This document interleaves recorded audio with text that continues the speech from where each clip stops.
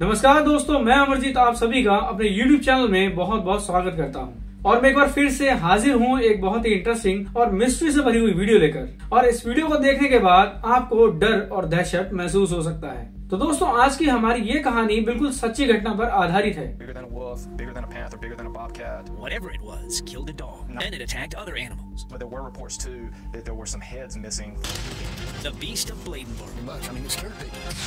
A a a a Beast is still captivating for people.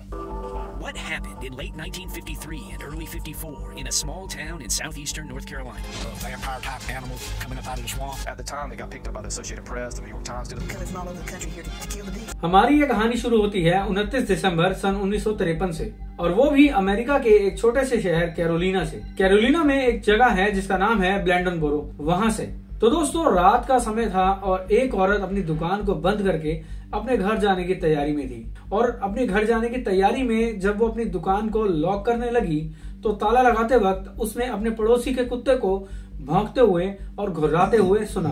और जब वो देखने के लिए बाहर गई कि ऐसा क्यों हो रहा है तो जो उसने देखा, उसको देखकर उसके होश उड़ गए। वो बिल्कुल हैरान रह गई।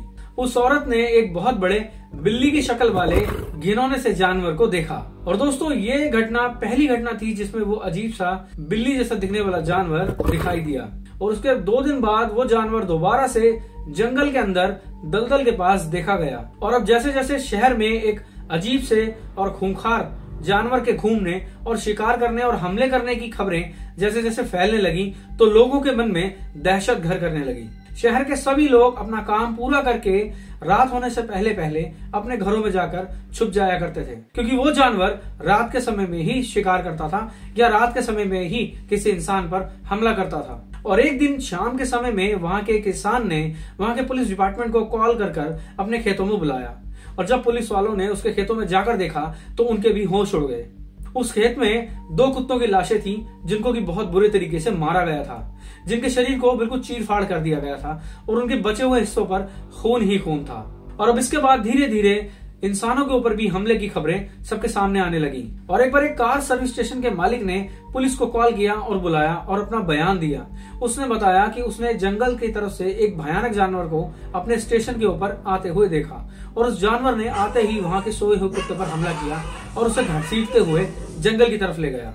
और जब ब्लैडन बोरो की पुलिस ने इस मामले की बिल्कुल गहराई से जाँच की तो ये पता चला कि वो जानवर छह फीट लंबा 48 इंच ऊँचा और बिल्कुल बिल्ली की शक्ल का दिखने वाला जानवर है, जिसके लंबे लंबे नाखून और एक पूंछ भी है। और जैसे जैसे दिन बीतते गए, उस जानवर के हमलों की खबरें लगातार फैलती गई। कई लोगों ने उसको देखने का दावा किया। और अब वहाँ की पुलिस इस जानवर के हमलों से बहुत ज़्यादा तंग आ चुकी थी। तो वहाँ की पुलिस डिपार्टमेंट ने उस जानवर का शिकार करने का फैसला किया।